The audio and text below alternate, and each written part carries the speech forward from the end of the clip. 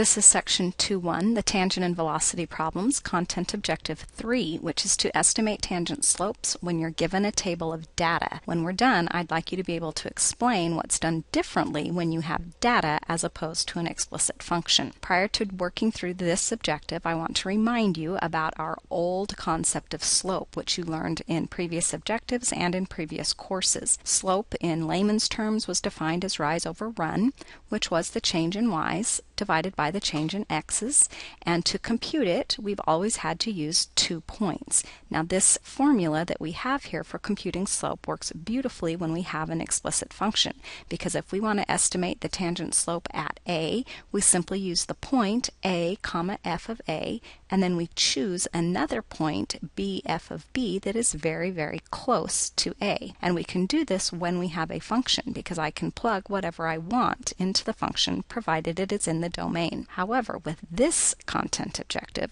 we do not get the function. That means we are limited by the constraints of the data alone. Here, if we look at example 1, it says we want to use the table to estimate the tangent slope at 1. So if this were an earlier objective, we would use 1 and the 16 that goes with it, and then we would select a point either on the left or the right that is super, super close to 1 plug it into the function, and then compute the slope. Well, we can't do that here because all we have is the data. So 0 is not that close to 1, nor is 2. So we can't get close like we want. That means we're going to have to estimate using the data. The question becomes, which data do I use?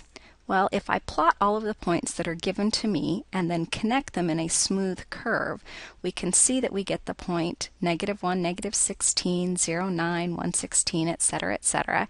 And we can kind of eyeball what we think that tangent slope at the point 116 would look like.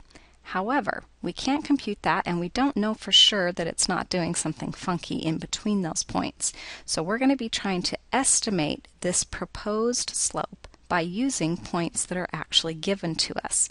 Generally, we want to restrict our options to the point that we're interested in and the two flanking points, the one immediately to the left and the one immediately to the right.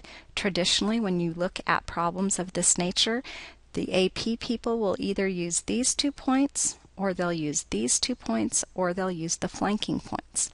I would recommend in any scenario involving data and a requirement that you estimate a tangent slope that you use the flanking points. And here's why.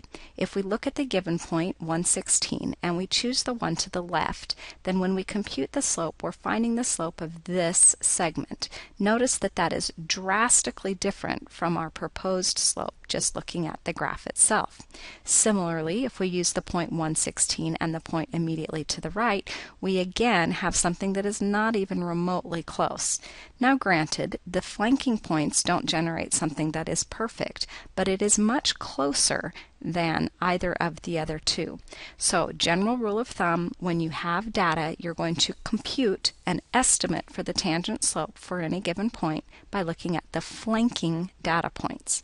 For example, if we wanted to find the tangent slope at 3, we would use the point 2 comma 11 and 4 negative 11 because those are the two that flank 3. If we wanted to estimate the slope at 4, we would use the point 30 and 5 negative 16. We want to get as close as we can to the given point from both sides. If you're feeling ambitious, you can try the Notes web exam problem now or you can go on to the language objective and simply explain what is done differently to estimate a tangent slope when you have data as opposed to an explicit function.